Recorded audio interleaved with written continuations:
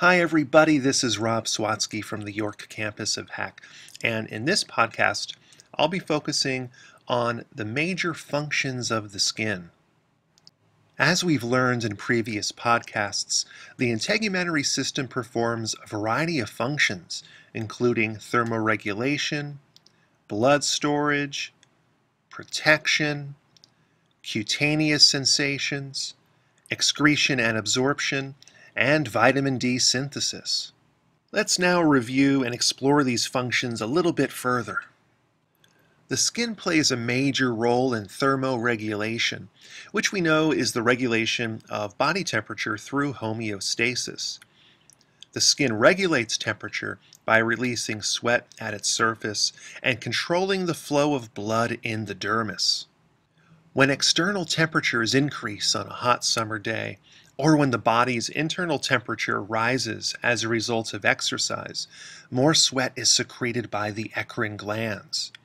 This sweat evaporates from the skin's surface and reduces the body's temperature. Blood vessels in the dermis also dilate or get wider in a process called vasodilation, so more blood moves through the dermis, increasing the amount of heat removed from the body. When external temperatures get colder, eccrine sweat production decreases and heat is conserved.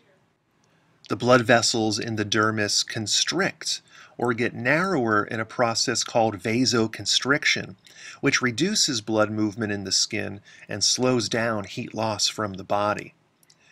Contractions of skeletal muscles through shivering also generates heat. We know the dermis contains a rich supply of blood vessels, and this network carries 8 to 10% of the total body's blood.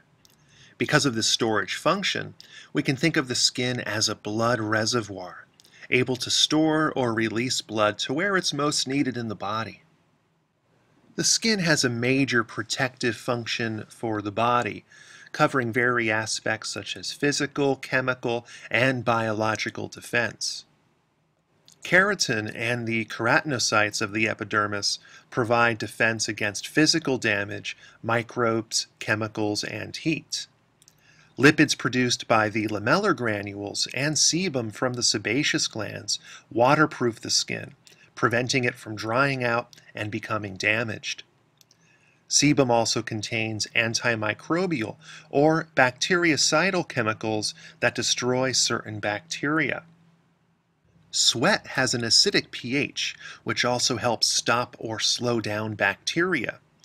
We know that melanin blocks ultraviolet radiation from the sunlight, which helps minimize damage to the DNA.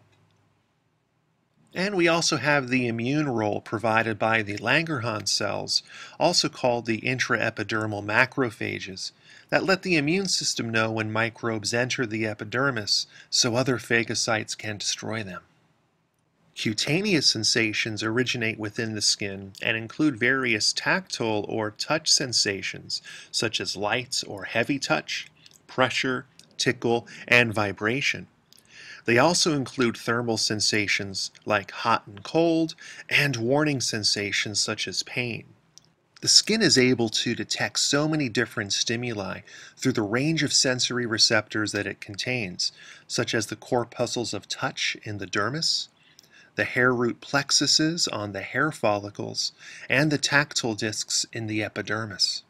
The skin plays a small role in excretion, which is the elimination of metabolic wastes from the body, and in the absorption of materials from the external environment into the body. About a half liter of water evaporates from the body daily through sweat, which removes water, salts, waste gases like carbon dioxide, and urea and ammonia, two nitrogenous wastes from protein digestion. Some lipid-soluble chemicals can also absorb into the skin, such as the fat-soluble vitamins A, D, E, and K, various drugs and topical steroids, and the respiratory gases oxygen and carbon dioxide. Certain toxic chemicals and heavy metals can also absorb into the skin. The skin is also able to synthesize vitamin D through the activation of a precursor molecule by exposure to UV radiation and sunlight.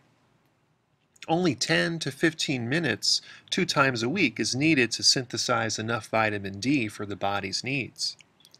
People who live in colder, higher latitude countries, or those who spend too much time indoors may have to take vitamin D supplements. Kidney and liver enzymes modify the activated molecule and produce calcitriol, a hormone which is a highly active form of vitamin D that helps in the absorption of calcium from the GI tract into the blood. Vitamin D is thought to help increase the ability of phagocytes to kill bacteria, regulate immunity, and help lower inflammation.